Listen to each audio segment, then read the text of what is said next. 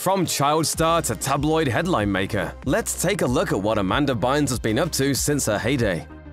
Amanda Bynes kicked off her professional career acting in commercials when she was just seven years old. Three years later, in 1996, she joined the cast of Nickelodeon's sketch comedy series All That. Bynes quickly became a standout among fans, which led to receiving her own spin-off series, The Amanda Show.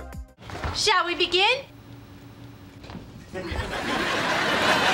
Over the course of its three seasons, Bynes earned her fair share of critical praise, including four Kids' Choice Awards for Favorite Television Actress. After the show wrapped up in 2002, Bynes began her film career, starring opposite fellow child star Frankie Muniz in Big Fat Liar, followed by What a Girl Wants in 2003. While making and promoting those films, Bynes was also a lead on What I Like About You, alongside Jennie Garth. The show ran for four years before ending in 2006.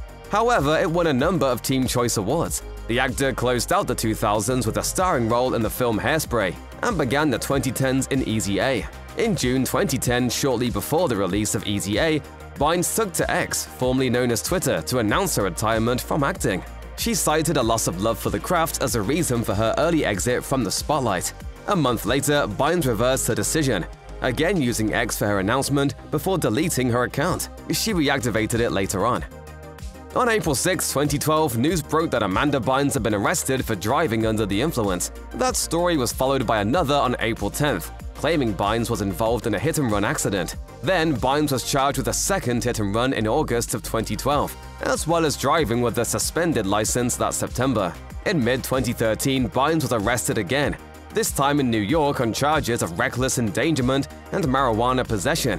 Two months later, Bynes was placed on psychiatric hold after starting a fire in the driveway of a neighbor's home. Also in 2013, she feuded with Courtney Love, Paris Hilton, and Jenny McCarthy on X. In 2014, she used the platform to publicly accuse her father of physical, emotional, and sexual assault.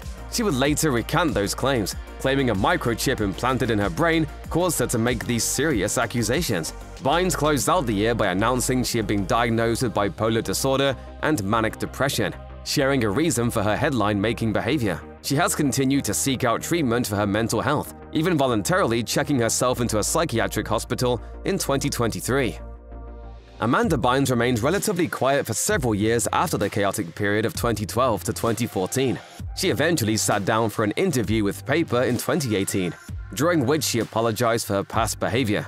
She also shared that she'd been sober for four years. As she began her road to recovery, Bynes enrolled in the Fashion Institute of Design and Merchandising. She earned her associate's degree in 2019 before entering another program at the school. She would eventually take to Instagram to pitch her dream of making a clothing line to her followers. In her post, she said, I'm really looking forward to starting my clothing line, and I'm hoping that in the near future it will be out online.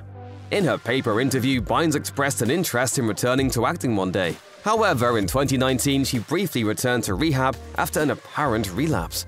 After that, the former actor became active on Instagram.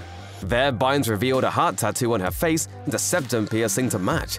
She likewise announced her engagement to Paul Michael. However, they have separated since then. The couple also shared news of a pregnancy, though her lawyer announced two months later that the actor was not pregnant. In April 2021, Bynes' lawyer also spoke with People ahead of her 35th birthday, telling the magazine that she was doing well, living by the beach while attending school and partaking in meditation and cycling classes.